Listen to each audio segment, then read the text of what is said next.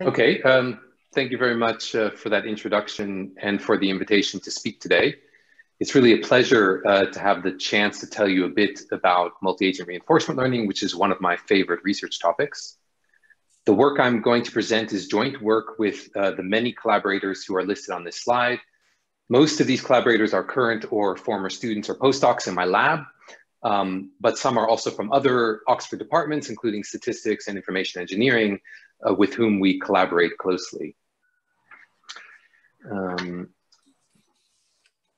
so as you no doubt know, the standard paradigm in reinforcement learning involves a single agent interacting with a stationary environment, producing sensory input and selecting actions in order to maximize a reward signal. And while this is a, a powerful and broadly applicable paradigm, one key limitation of it is that it assumes the learning agent is the only agent in the world. So a natural extension is thus to the multi-agent paradigm in which each agent acknowledges and reasons about the fact that the environment with which it interacts consists of other agents who are also perceiving input and selecting actions in order to accrue reward. This uh, extension is natural because multi-agent systems are everywhere. The real world is full of scenarios that are naturally modeled with multiple agents, so if we want to build intelligent agents that can act in the real world and solve real world problems, we need to tackle this multi-agent paradigm. Now, um, at a high level, we can group multi-agent systems into three categories, fully cooperative, fully competitive, and mixed settings. I'm sure I don't need to explain the difference uh, between these to this audience, but uh, let me just make clear that this talk focuses entirely on cooperative multi-agent reinforcement learning not because the other settings aren't important or interesting, but because even in the fully cooperative case, we already have plenty of research challenges to keep us busy. And thanks to its similarity to the single agent setting, uh, formalizing the objective of learning uh, is straightforward in the fully cooperative setting. In addition, the cooperative setting is important because a large number of these real world multi-agent systems are cooperative, like a team of robots in a warehouse, or they contain subgroups that can be usefully modeled as cooperative, like a fleet of self-driving cars sharing public roads with human drivers.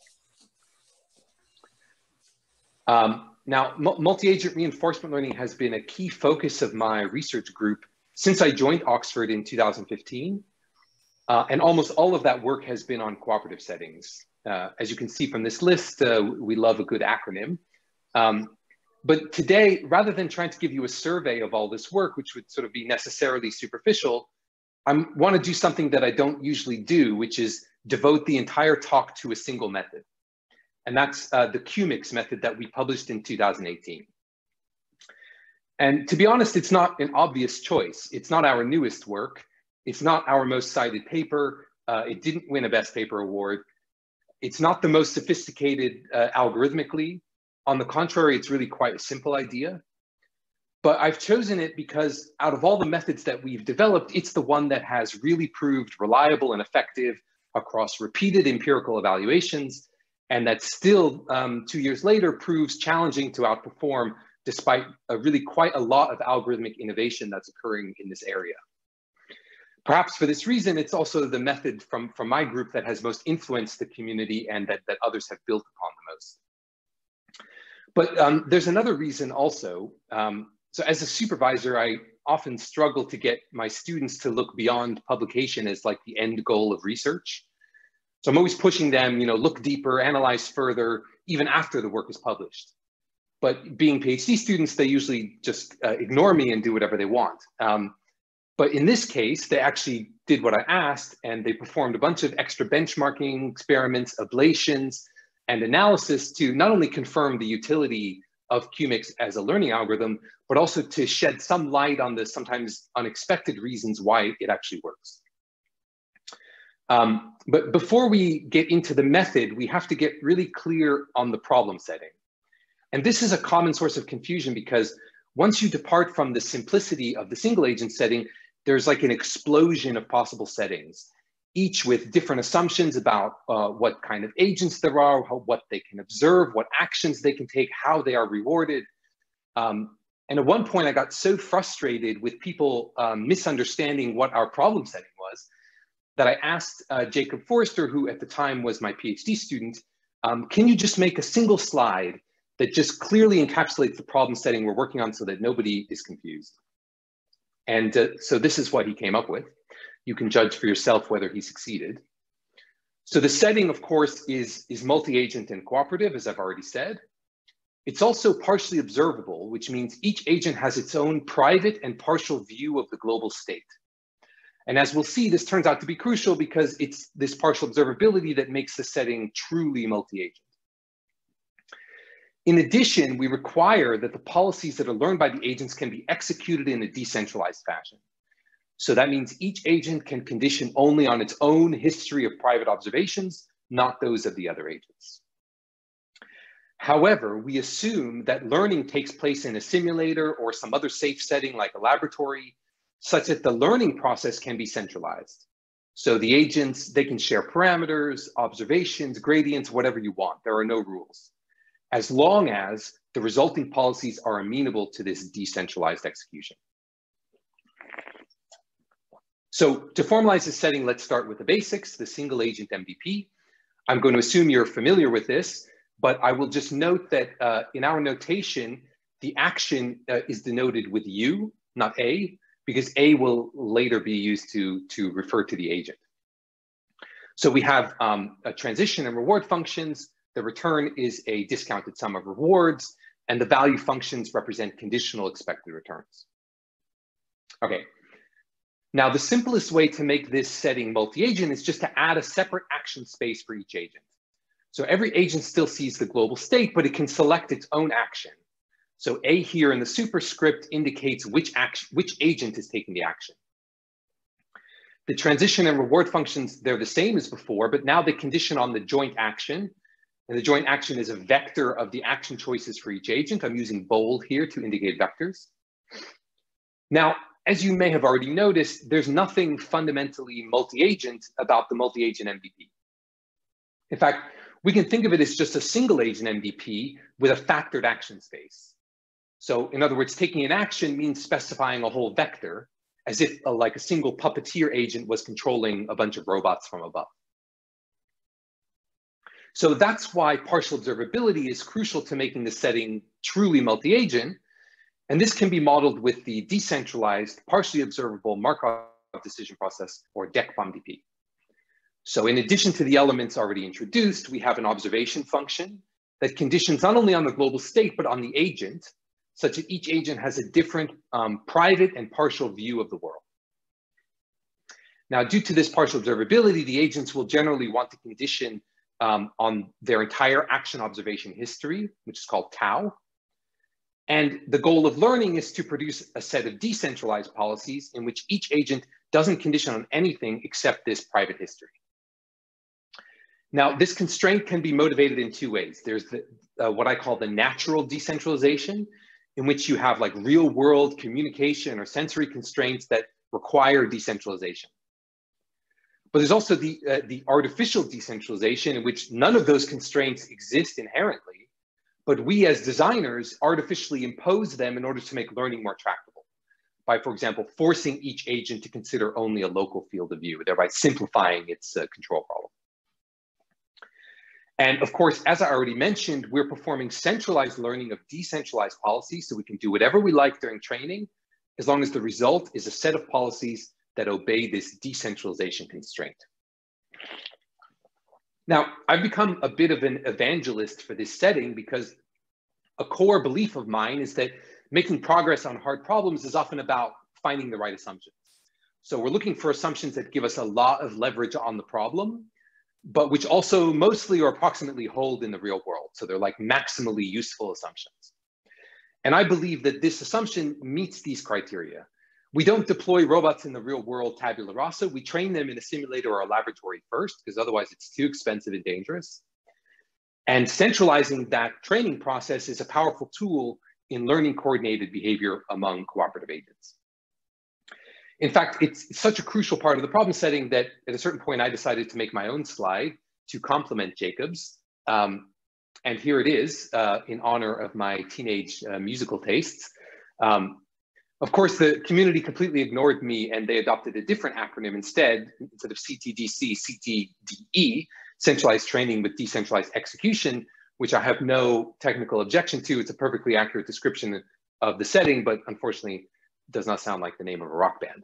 Um, so one way to get some intuition about the Dec-POMDP is to reason about what I call the predictability exploitation dilemma. So I'm sure you're all familiar with the exploration exploitation dilemma from single agent reinforcement learning. So this is like a different but related dilemma. On the one hand, the agents need to exploit because obviously maximizing performance means collecting reward. In, in a single agent setting, this requires exploiting what you observe. So if you see a coin to your left, you know which way you need to go to collect coins. But in the Dec-POMDP, the agents cannot explicitly communicate.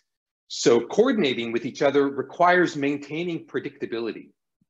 They need to stick to the plan that they agreed on during the centralized training phase, otherwise they risk miscoordinating with their teammates. So sometimes being predictable requires ignoring even highly relevant private observations if it's unlikely that your teammates have received similar information. So in the extreme case, the optimal policy could even be completely open loop, ignoring all private observations because conditioning on them is just too risky. It's too unpredictable to your teammates.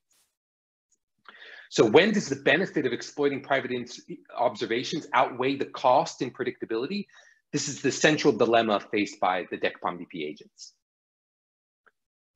Okay, now the simplest approach we can take algorithmically is called independent learning. So this was first proposed as independent Q learning way back in 93. And the idea is that each agent simply learns independently with its own Q function that conditions on its private observation history and individual action. Nothing is centralized and there's no attempt to learn a joint value function that conditions on the joint action. So each agent essentially treats other agents as if they were part of the environment. And of course, we can do the same thing with an actor-critic approach where each agent has its own actor and critic.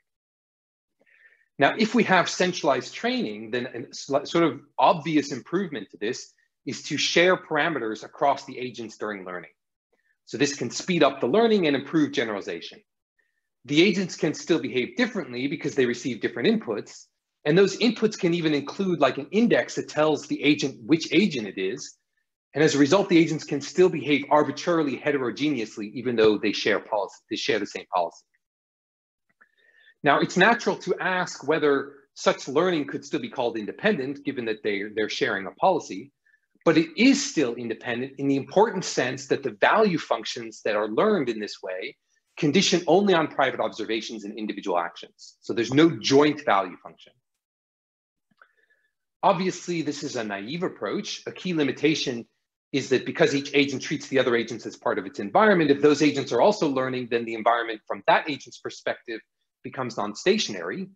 And so convergence guarantees go out the window. In addition, there's, since there's no attempt to learn a joint value function, the, the synergistic value of coordination is not represented, which makes it harder to learn coordinated behavior. So one way that we can do better is to take an actor-critic approach and centralize the critic.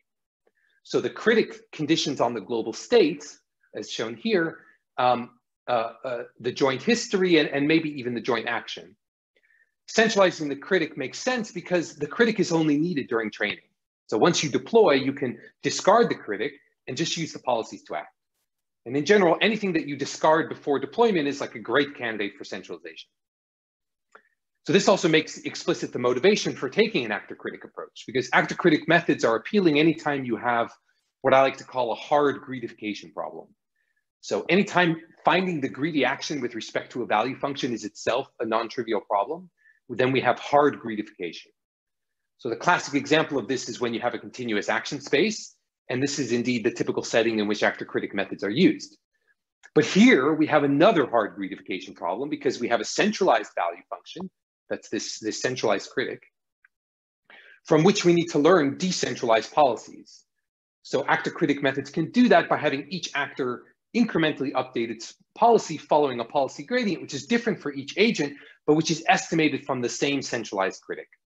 So that's what's shown in the figure here. We have the centralized critic, we have separate actors. Um, they each compute their own gradient, but, but by referencing the same common centralized critic. Okay, However, learning a centralized value function over a complex action space can be challenging. So a crucial idea to address this is to learn factored value functions instead. And factored value functions have a long history in reinforcement learning and an even longer one in decision theoretic planning. The idea is to represent the value function as a sum of local value functions, each of which depends on the observations and actions of only a subset of the agents. So each of these um, uh, values of E corresponds to a different subset. So this can be modeled with a coordination graph, which is just a factor graph in which the factors are the local value functions and the variables are the agents. So just like in a probabilistic graphical model, a coordination graph captures conditional independent properties. So here, for example, agent one, if it knows the action of agent two, it can select its own action without caring about what action agent three is going to take. So such a factorization reduces the number of parameters that need to be learned thereby speeding learning and improving generalization. It also makes it tractable to maximize over the joint action space since your favorite message passing algorithms for performing map inference in probabilistic graphical models can be reused to efficiently find the maximizing joint action. Now, um, as is often the case, DeepMind uh, was the first to sort of deep learnify this idea um, in an approach that they called value decomposition networks. And value decomposition networks use the most extreme form of factorization with one factor per agent, yielding this disconnected factor graph. Now, while this is obviously a highly restrictive uh, factorization, it has an important side effect, which is that it enables a total decentralization of the max and argmax. So because each factor involves only one agent, we can compute a max over the joint actions just by performing a max over each agent's individual action space separately and then summing them. Similarly, we can compute a global argmax by just performing a separate local argmax for each agent and then compiling the resulting actions into a vector. That would yield exactly the same vector that we would get if we would do the sort of combinatorial argmax over the joint action space. So what this means is that with the VDN factorization, um, we no longer have a hard greedification problem. Finding the greedy action with respect to a value function is easy again, so we're no longer compelled to take an actor critic approach. We can just use Q-learning instead if we want. So here, for example, we have a DQN loss function where the, Q, where the Q function is centralized. So thanks to the VDN factorization, this maximization that appears here in the update target can be performed efficiently as shown uh, above. And on deployment, action selection using this learned value function trivially decentralizes since it requires only the decentralized argmax that I just mentioned. Okay, so at long last, this brings us to QMix. The main idea behind QMix was to try to preserve this handy property of decentralizing the argmax, while at the same time loosening the restrictive representation imposed by VDN's extreme factorization. So we can do that by leveraging the simple observation that to preserve the decentralizability of the argmax, it suffices to enforce the condition that for all agents, the partial derivative of the joint value function with respect to the agent's individual value functions is non-negative. Now, one potential source of confusion here is that because we're considering discrete action spaces, these individual Q values are actually only defined for a set of discrete points uh, corresponding to that agent's individual action space. So what does it even mean to take a derivative with respect to this discrete set of values? So this, this figure shows here what's really happening. When we compute the centralized value from the individual values, we do so using a mixing function, which we can think of as taking real valued continuous inputs. So this color gradient here shows a mixing function that obeys this monotonicity constraint. Because if you look with respect to any individual Q value, you see that it's uh, the partial derivative is always positive. It's increasing monotonically. Um, now, so it's this, it's this mixing function whose partial derivatives must be non-negative in order to obey the monotonicity constraint. And in VDN, the, that mixing function is just a summation. But the point is, the insight here is that any monotonic function would do. Now, in practice, the mixing function is only ever applied um, to, the, to a discrete set of inputs. And th that discrete set of inputs corresponds to the individual Q values for each agent's actions, which thanks to the monotonicity, monotonicity constraint can be individually maximized over. Okay, now when the, when the students pitched this idea to me, I was pretty skeptical. In, in fact, that's, that's an understatement. I was convinced it would never work. My reasoning was that if you preserve the decentralizability of the argmax, then you're still saddled with the key limitation of VDN, that it cannot represent the benefits of coordination. So like by definition, if an agent can select its action in a vacuum, then there can't be any benefit to coordinating with other agents. So this point is illustrated using the normal form games shown here on the slide. So on the left, we have a game whose value function is both linear and monotonic. So both VDN and QMix can represent it. In the middle, we have a game that is nonlinear, but still monotonic. So QMix can represent it, but VDN cannot. And on the right, we have a game that is both nonlinear and non-monotonic. So neither VDN nor QMix can represent it. And the point is that only the game on the right actually involves coordination because only there does one agent's choice depend on the other agent's choice. So the question then becomes, should we care about these games in the middle? Because it's these games that QMix can represent better than VDN. And my claim was, no, we, we don't really care about these games because even if VDN couldn't represent the value function of this middle game exactly, it could approximate it with the value function uh, of the left game and when we perform greedy action selection on that approximation, we'll get exactly the same result as we would have gotten with QMix. So that was the sort of um, the foundation of my skepticism. However, the students had an insight that I had overlooked. Um, the point was that the value function is used not just for action selection, it's also used for bootstrapping. So the loss function, when we, when we fit this Q function, it's a mean squared error between a Q value and a target. And that target is computed by bootstrapping off of the Q value of the next state. That's the term shown in red here.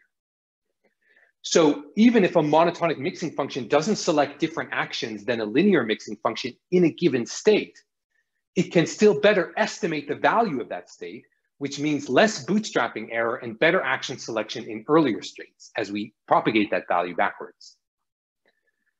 So this um, two-step game illustrates this point.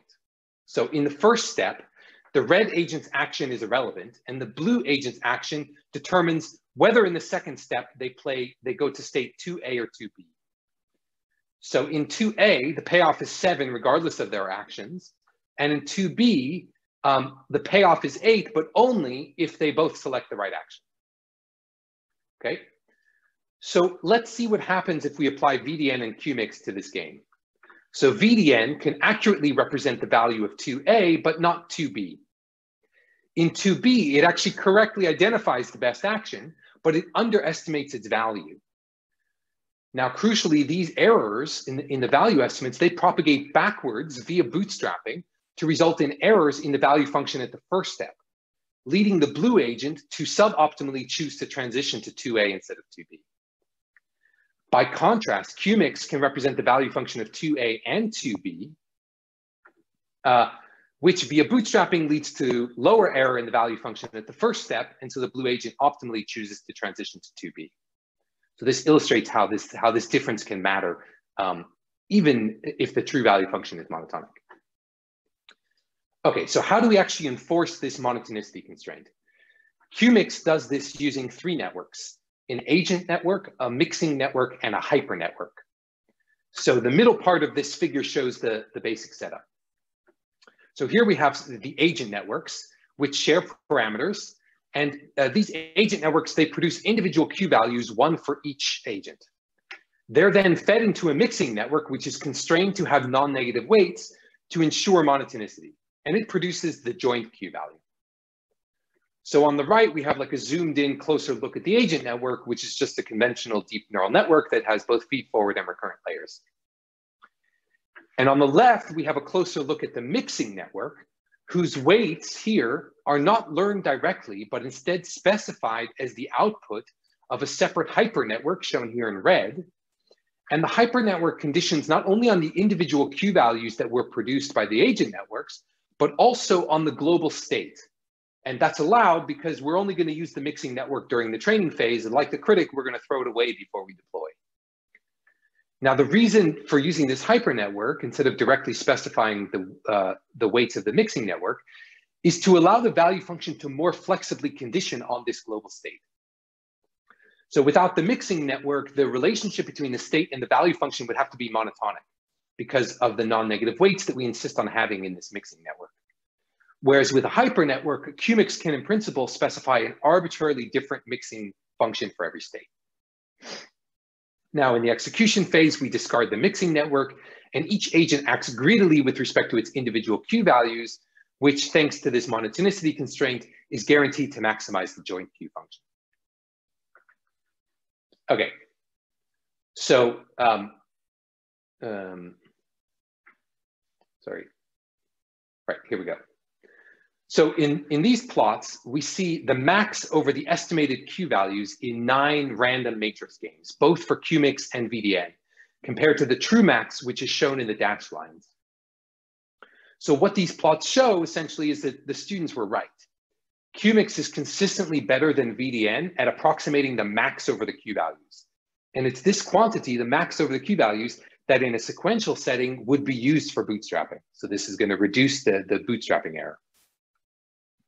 Now, of course, this is just a sanity check. So for a proper evaluation of QMix, we use uh, the StarCraft Multi-Agent Challenge, or SMAC, which is a suite of cooperative multi-agent RL benchmark tasks that we created based on the popular real-time strategy game StarCraft 2. Now, as we know from supervised learning, from single agent reinforcement learning, good benchmarks are really crucial for driving progress in the field.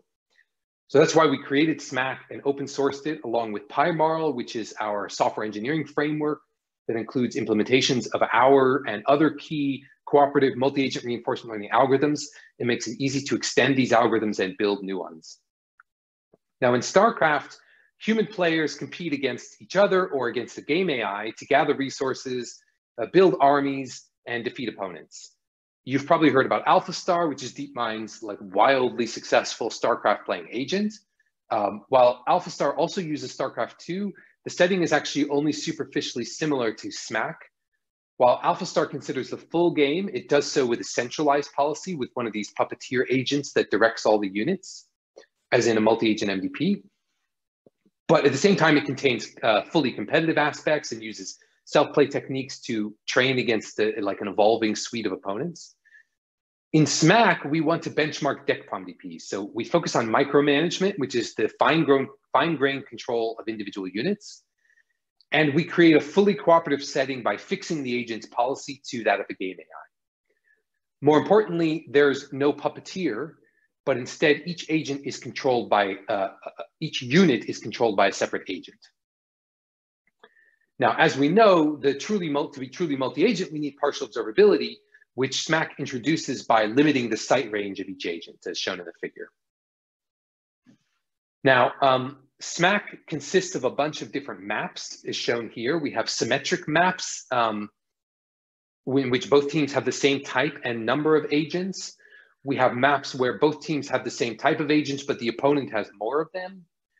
And finally, we have asymmetric maps where the two teams have different types of agents.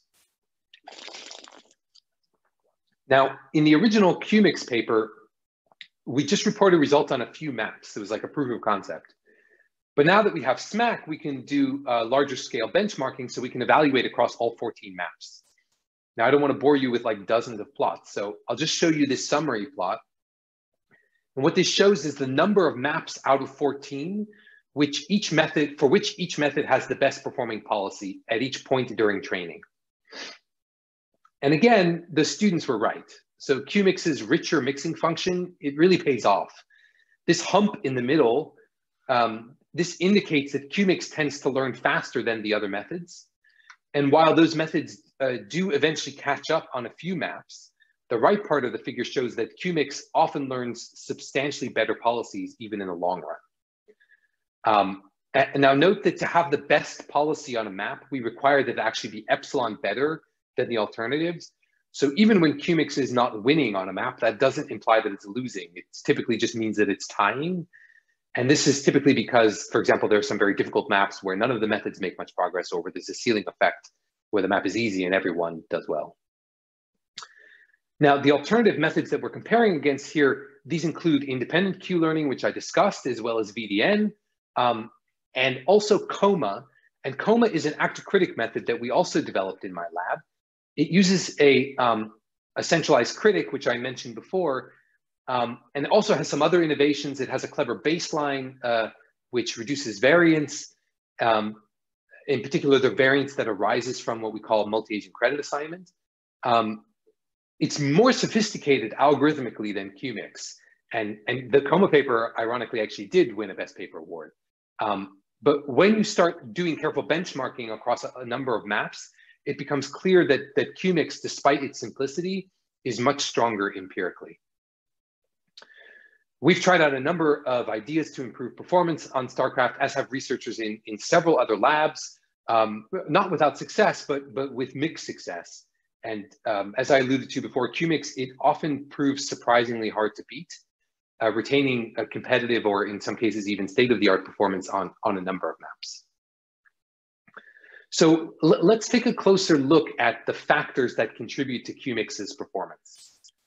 So here we see the results of some ablation experiments where we compare QMix not only to VDN, but to what we call QMix NS. So it's QMix, but where the mixing network doesn't condition on the global state and also something we call VDNS, where um, it's VDN, but with a state-dependent bias in its linear mixing. So it's QMix where we take away conditioning on the state, and it's VDN where we add conditioning on the state. Now, what these plots show is that conditioning on the state is an important factor in performance, at least on some maps, and that doing so with a state-dependent bias is actually not good enough. Um, the more flexible approach of QMix involving a hypernetwork um, results in stronger performance. Now, here we have another ablation experiment where we compare QMix to what we call QMix lin. So that's QMix where the mixing function is restricted to be just one linear layer. And again, we're plotting median test win percentage. Now, as expected, the original QMix with nonlinear mixing performs noticeably better.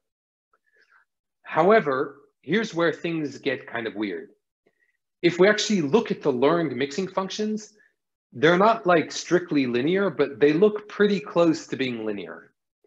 And we've done this analysis on a number of maps, but what I'm showing here is just an example from the, the two Colossi versus 64 Zerglings map, just because it's easier to visualize when there's only two agents on our team.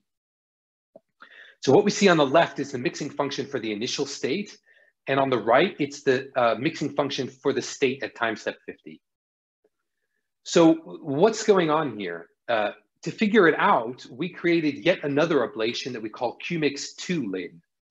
So like QMix, it has two layers in the mixing function, but like QMix lin, the, these layers are only linear.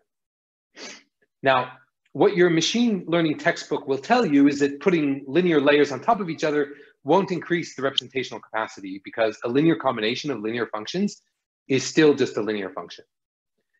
However, what your textbook won't tell you, but what is probably obvious to any uh, you know, deep learning practitioner, is that adding such layers can greatly affect the learning dynamics, and sometimes favorably so. In fact, that's what's illustrated in this plot. This is actually not an RL experiment. This is just a regression task of predicting fixed Q values. So the y-axis is just a, a mean squared error. And what you can see is that QMix2 lin learns much faster than QMix Lin, even though they both use linear mixing. In fact, it even matches the performance of QMix with nonlinear mixing. And um, sure enough, this result holds up when we actually do RL. So the performance of QMix and QMix 2 Lin are quite similar and are substantially better than that of QMix Lin when we again consider um, median test win percentage. Now, we can try to encourage QMix to learn uh, nonlinear mixing functions by changing the activation function from in ELU, that's what we were using, to tanh. And when we do that, indeed, we do see more nonlinearity in the learned mixing functions as shown uh, in the plots at the top here. However, as these plots at the bottom show, that does not translate into uh, improved performance. The, the performance difference by changing the activation function is modest at best. Okay, so the takeaways from these experiments are um, value function factorization is highly effective in these tasks. Flexibly conditioning on the state, not just with a state dependent bias, uh, but with a richer hypernetwork is also important. Um, so it's really important to richly parameterize the mixing function. VDN and QMix with a single linear layer, they're not sufficient. However, um, as much as we might wish it was otherwise, nonlinear mixing does not seem to be important, um, at least not in SMAC. So that, that's definitely an unexpected result. Okay, so um, now I have a confession to make. Uh, earlier when I said the whole talk would be devoted to one method, I was kind of lying. Um, so since I have a few more minutes, I want to quickly tell you about one other method, uh, a method called Maven, because it's closely related to QMix. Uh, and it has actually shown improved performance on, on several maps. So the motivation for Maven comes from the following plots. So the, the SMAC maps are divided into three categories, the easy maps, the hard maps, and the super hard maps. And what these plots show you is the median test win uh, performance of all the same methods we've been talking about on the super hard maps. And well, there, there's no way to get around it. The, the results are embarrassing. On three of the five maps, all of the methods completely flatline. And on the other two, QMix is the only one that makes any progress. So one hypothesis as to what's going on here is that these super hard maps, they're precisely the ones that require the kind of non-monotonic coordination, non-monotonic mixing that neither QMix nor VDN can represent. However, this um, raises a question. Why does COMA also fail on these maps? So remember, COMA uses a centralized but unfactored critic. So there's no explicit mixing here, but there are also no constraints on the kinds of value function that can be learned, assuming the network is adequately parameterized. So this leads to a second hypothesis, which is that to learn these non-monotonic mixing functions, whether explicitly or implicitly, we need smart exploration. And this is, this is really pretty intuitive if you think about it. If the value function really requires the agents to coordinate to get the best payoff, then that means they have to find the needle in the haystack of this like joint action space. And this is a hard exploration problem. Now, note also that QMix, like all the other methods we've discussed, uses naive exploration, in this case, epsilon greedy. And this is actually much worse than doing epsilon greedy in a single agent setting because each agent is separately performing its own epsilon weighted coin flips. So what that means is that for any reasonable value of epsilon, the chance of selecting a joint action in which more than one or two of the agents deviate from the greedy action at the same time is vanishingly small. So it's not surprising that QMix's performance is known to be sensitive to this epsilon annealing schedule because it's relying on this naive exploration uh, for this like crucial exploration of the joint action space. Okay, so uh, multi-agent variational exploration or MAVEN is a method that's built on QMix and is designed to address these limitations. So it does so by using a latent space to represent a diverse ensemble of monotonic approximations. So in each episode, a latent policy shown here samples a value X, which is encoded together with the initial state into a latent variable Z. And Z is used by a team of QMix-like agents whose agent and mixing functions now condition on Z. The agent and the mixing functions, they're optimized with the DQN loss, just like in QMix, um, while the latent policy is optimized using policy gradients. And in addition, the agent trajectories, they're encoded into the hidden state of a GRU, and there's a third loss term which encourages learning to maximize a variational lower bound on the mutual information between these encoded trajectories and this latent variable z. So what this does is encourage visitation of diverse trajectories while at the same time making those trajectories identifiable given z. So it, it separates the latent space into different exploration modes.